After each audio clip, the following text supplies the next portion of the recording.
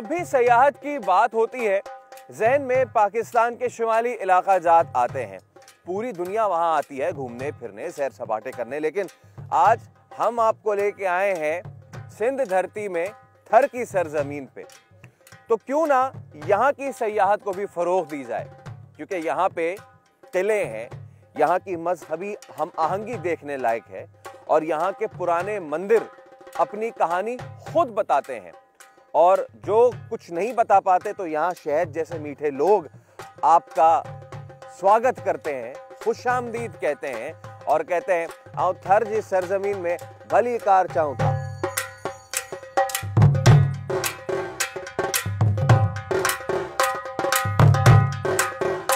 सहराए थर का पासबान, नौकोट किला। 1814 में मीर करम अली खान ने इसे तामीर करवाया।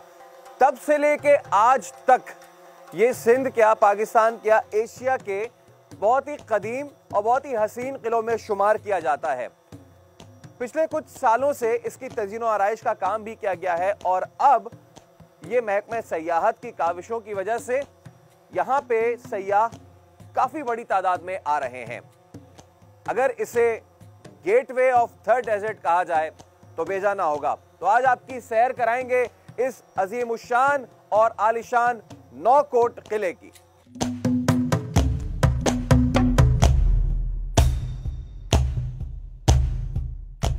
इस किले के 11 वॉच टावर्स हैं, जहाँ से पहरेदार बैठ के दूर दुश्मनों पर नज़र रखा करते थे।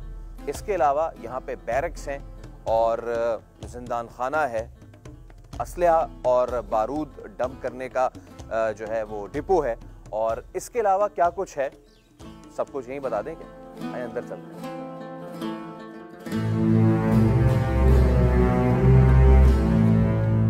और ये हम आ गए अंदर। एक आदमी की तो ये गेट खोलने के बस की बात नहीं है। तो खैर, अब हम किले के अंदर मौजूद हैं। नौ कोट किला नवा कोट किला। ये थरपारकर का अगर गेटवे कहा जाए इसको तो बेजाना होगा। और जहाँ पे हम इस वक्त मौजूद हैं, यहाँ पे ये आर्मी बैरक्स ये होते थे और यही इसका एंट्री गेट होता था। यहाँ पे तमाम तर फौजी जो हैं, उनकी रिहाइश गाह होती थी। इस रिहाइश गाह की ख़ास बात यह है कि इसमें लकड़ी का कोई काम या और किसी मटेरियल का काम नहीं हुआ, बल्कि ये सारा ब्रिक्स और मिट्टी का काम है।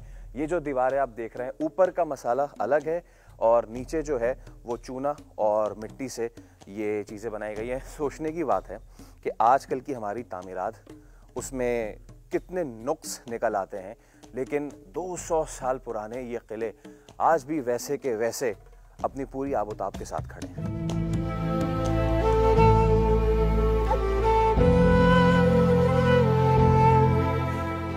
तीन दहाइयों तक तालपुरों की शानो शौकत देखने वाले इस किले को फिर अंग्रेज़ों ने अपने हाथ में लिया। लेकिन फिर हुआ ये कि जमाने की सितम जरीफी की धूल यहाँ इतनी पड़ गई कि पिछले चंद सालों में यहाँ लोग आ भी नहीं सकते थे। यहाँ के सदर दरवाजे गिर गए, यहाँ की ईंटें उखड़ने लगी। अब हुकूमत सिंध और महकमे सयाहत ने इसका बीड़ा उठाया है।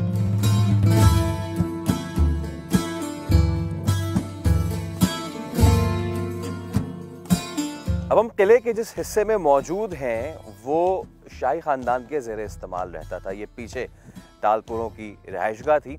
इनके साथ साथ जो इनके नौकर चाकर थे, उनके बैरक्स भी यहाँ पे मौजूद थे। कितनी अच्छी बात है कि अब इसके रेस्टोरेशन के लिए भरपूर यहाँ पे काम भी किया जा रहा है। आपको अंदर लेके चलते हैं और दिखाते हैं कि किस तरीके से जो शाही रेजिडेंस थी यहाँ की, वो किस तरह की होती है। आइए बताएँ।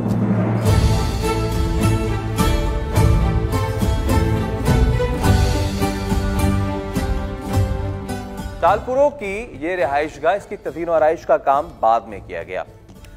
ईस्ट इंडिया कंपनी ने जब इस किले को कैप्चर किया तो जनरल चार्ल्स जेम्स नेपियर ने इसकी कमान यहाँ पे संभाली। लेकिन अंग्रेज़ों के चले जाने के बाद और पाकिस्तान बनने के कई अरसे बाद तक, यानी कि उन्नीस तक, इसकी देख रेख करने वाला कोई भी नहीं था। नतीजा ये हुआ कि किला कई जगह से टूट फूट का शिकार हुआ और कई जगह से तो बिल्कुल ही गायब हो चुका है।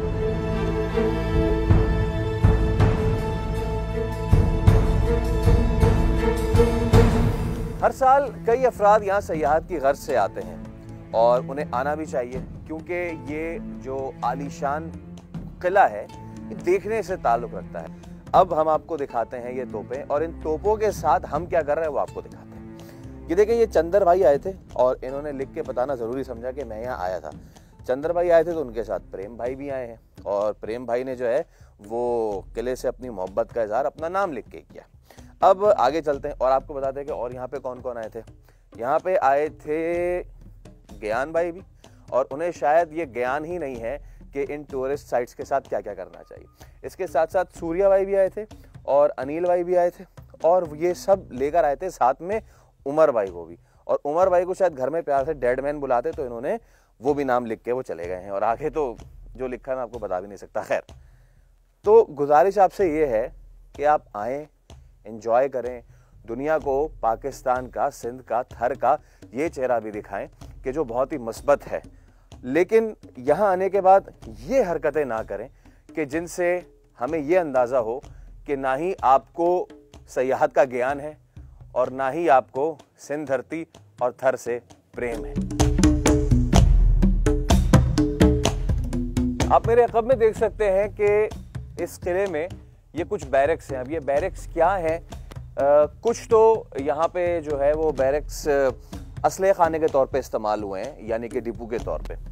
इसके साथ साथ जिंदान भी है, यानी कि जेल भी है, और जहाँ जिंदान होगी, वहाँ पे फांसी घाट भी होगा।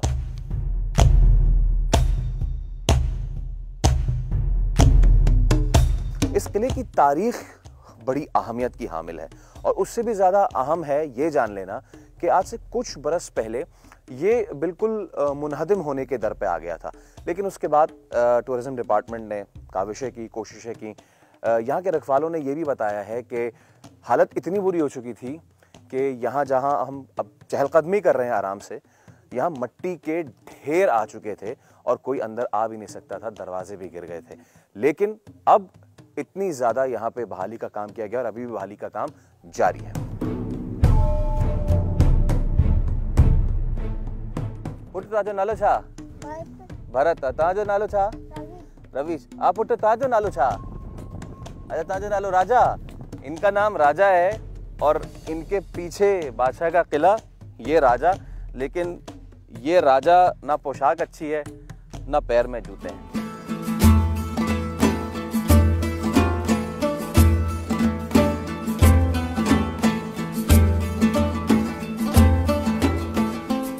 सरहद पार बड़े बड़े बॉलीवुड स्टार्स की शादियाँ इन बड़े बड़े किलों में होती हैं। और ऐसे किलों को होटल्स में तब्दील कर दिया गया है। अब आप ये किला देखें, ये इलाका देखें और आसपास की गुर्बत देखें। क्या वक्त नहीं आ गया है कि अब हम इन किलों के फाइनेंशियल एस्पेक्ट पे भी नज़र डालें, ताकि ना सिर्फ़ यहाँ की तरक्की हो, बल्कि आसपास रहने वालों का भी कुछ भला हो जाए।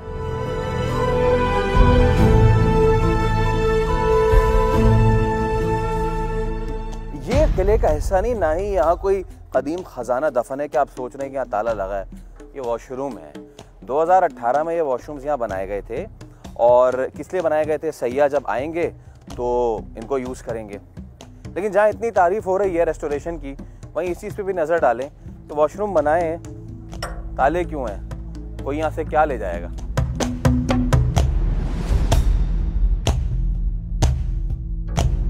ये अजीम शान किला जो तीन दहाइयों तक टालपुरों की मीरास रहा, फिर अंग्रेज़ के कब्जे में गया और अब सिंध हुकूमत की प्रोटेक्टिव तहवील में है। इस बात का तकाजा करता है कि ना सिर्फ़ यहाँ पे हुकूमती तवज्जो मजीद हो, ताकि यहाँ से रेवेन्यू कमाया जा सके, बल्कि ये आपसे और मुझसे मुतालबा भी करता है। इसके दरोबाम ये चीख चीख के कहते हैं कि जो लोग, जो सयाह यहाँ पर आए, सयाहत की गर्ज से घूमने फिरने की गर्ज से, वो दुनिया को पाकिस्तान का मस्बत चेहरा दिखाएँ। वो दुनिया को पाकिस्तान का सिंध का और थर का पॉजिटिव इमेज दिखाएँ। और जब वो यहाँ से जाएँ तो अच्छी यादें लेकर जाएँ और इन दीवारों को अपने नाम और दीगर नुकूश वापस ना देकर जाएँ।